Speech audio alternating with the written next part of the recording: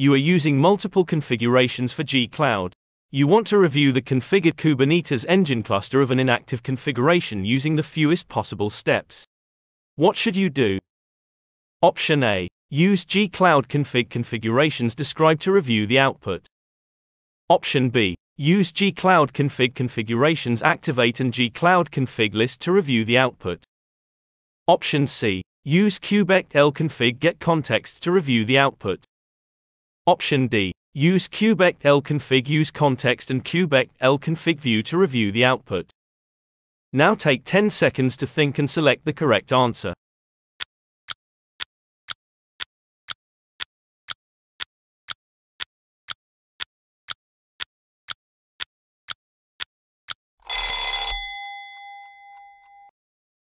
Get contexts shows us our Kubernetes cluster contexts, but the question says that you want to review the cluster itself, so you need to use context to get into the cluster.